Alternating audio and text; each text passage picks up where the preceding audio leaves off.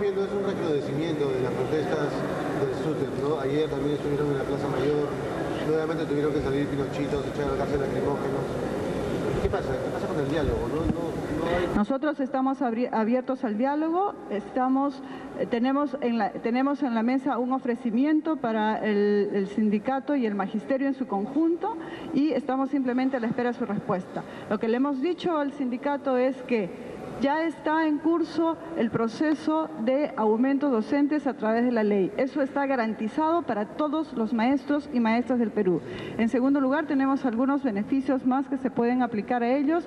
Y en tercer lugar, les hemos ofrecido la mesa de diálogo que han pedido. El único gesto que le estamos pidiendo para abrir el curso del diálogo este, intersectorial que están pidiendo es que levanten la huelga. Ministra, ¿se va a esperar que el Ministerio Público actúe en esto o la Procuraduría del Ministerio podría ya... eh, La Procuraduría ya ha tomado acciones. ¿Denuncias? Ministra. ¿Denuncias, ministra? ¿Son denuncias las que ha realizado? Ministra, el, el último domingo un programa dominical presentó imágenes de estudiantes universitarios en las cuales el CONARE, al interior de, de centros- estos- de estas casas de estudios, hacen movilizaciones y, prácticamente apología al senderismo. ¿Su portafolio ya ha tomado alguna medida al respecto?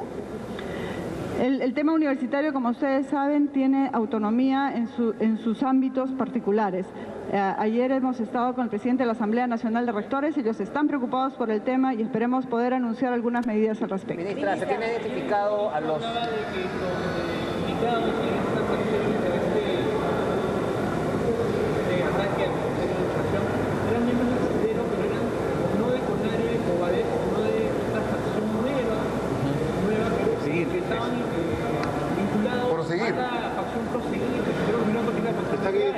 Ajá.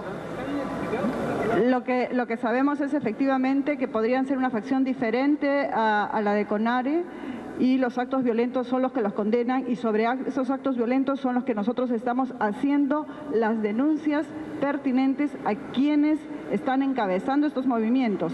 Un dirigente que encabeza un movimiento tiene que ser responsable del conjunto del movimiento y hacerse cargo de ello. Y luego a todos los que estuvieran implicados en estos hechos. Son lamentables, los rechazamos y de todas maneras invocamos al magisterio a que se diferencien de este tipo de conductas y a que se diferencien de este tipo de actitudes e ideologías. Muchas gracias. Los descuentos, ministra, los descuentos. son los chivos. Fue la intervención de la ministra de Educación, Patricia Salas, en el hall de los pasos perdidos del Congreso de la República. Juan Jiménez, como te comenté, continúa en la comisión.